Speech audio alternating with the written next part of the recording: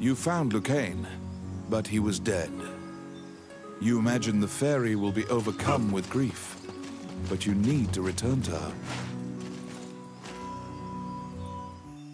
When you enter the laboratory, the fairy frantically flits around you, as if it senses your uneasiness. Upon seeing Lucain's bones, the fairy enters into a panic. She begins tugging at your arm to get you to leave the tower. The fairy is apparently attempting to lead you somewhere. You collect Lucain's bones and follow her.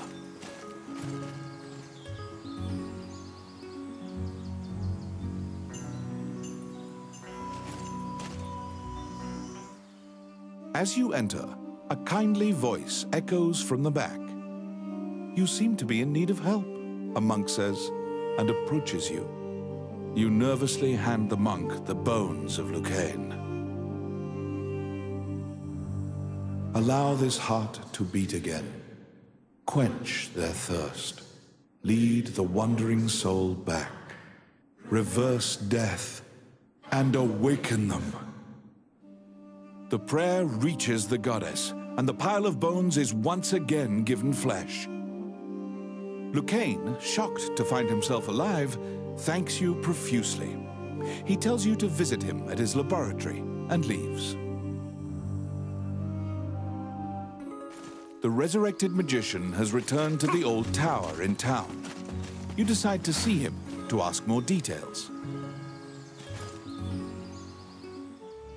The magician Lucain is waiting for you in the laboratory of the old tower.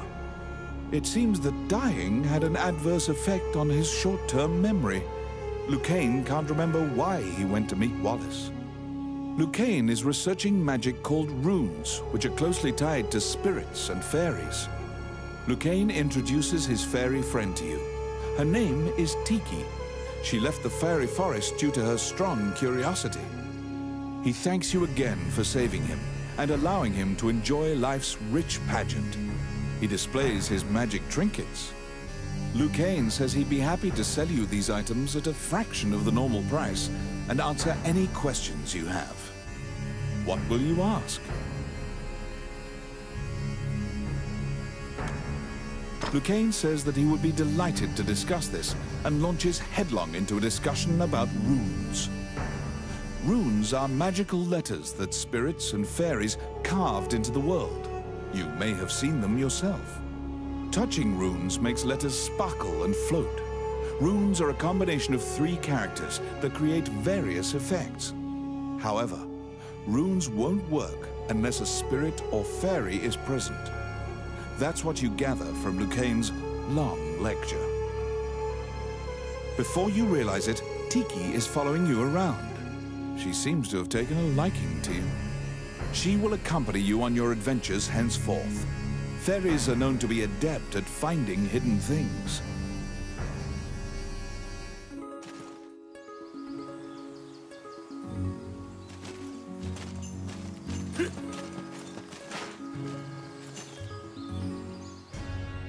A letter from the castle has come to you via the guild. It simply says to report to the castle in all haste. Hmm, you're back. There's a job.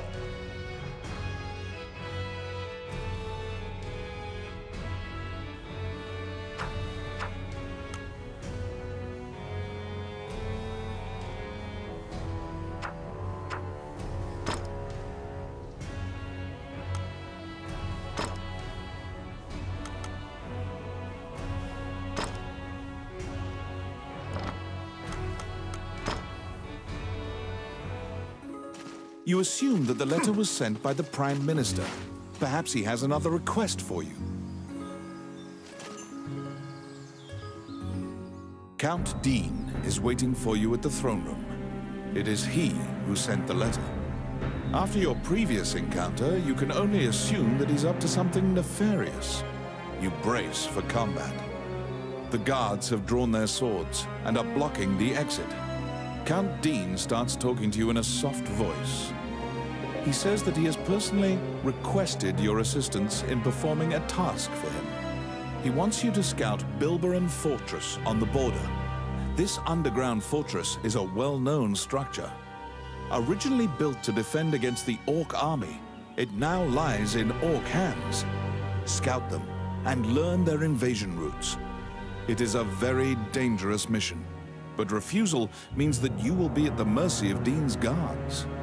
You accept.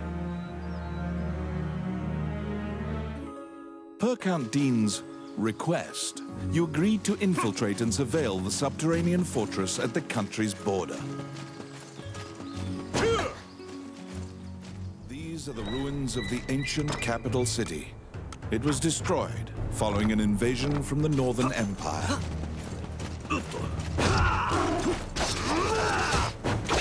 Now it is a dangerous place, full of dragons and wyverns.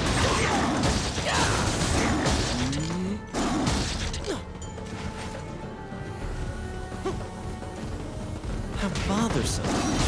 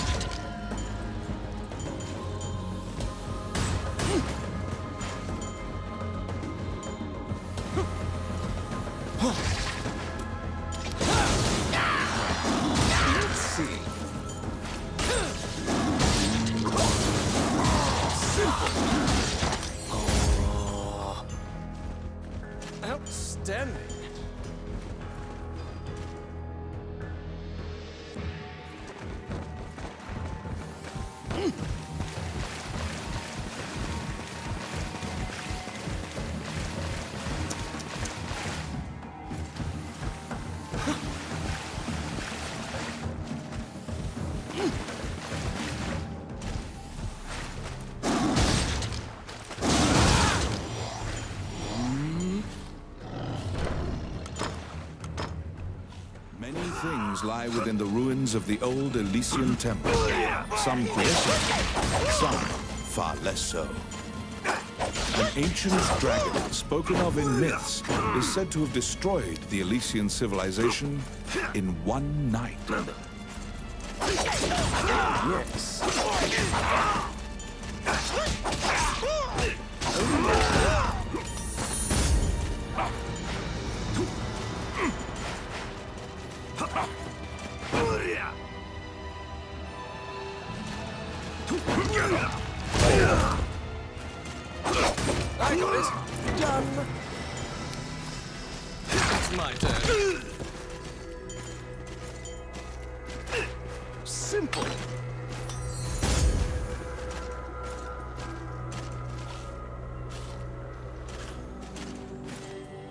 The Orc army is apparently getting there via the waterway.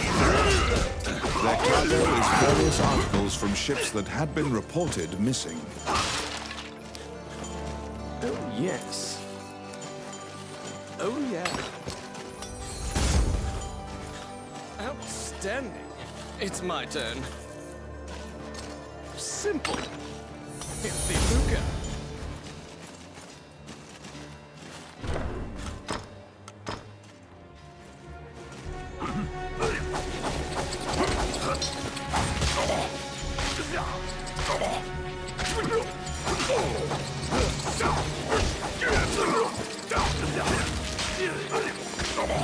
Filthy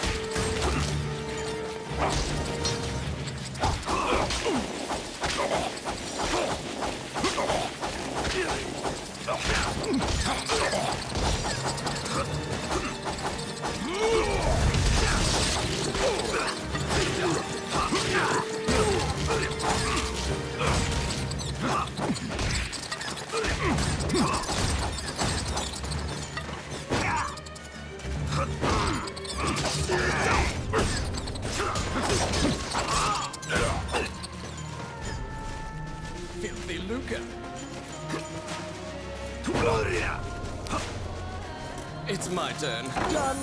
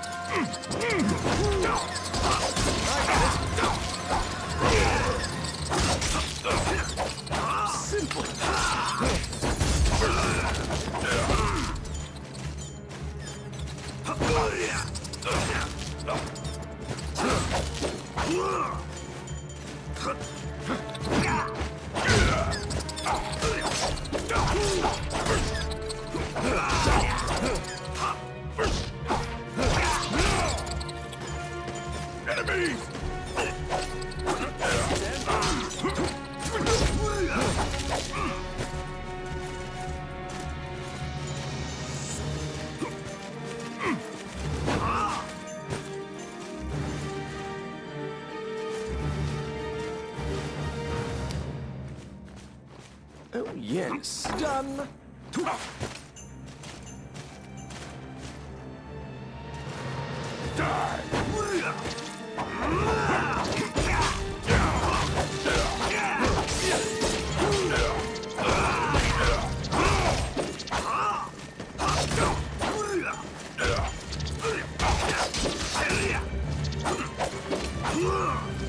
Get him!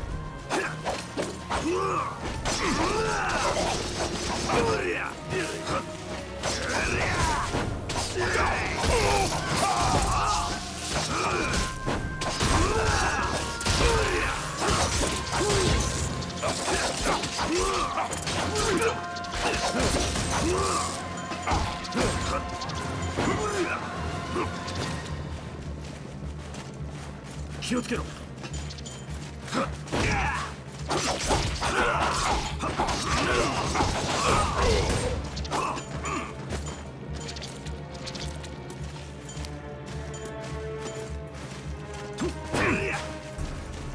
Let's see.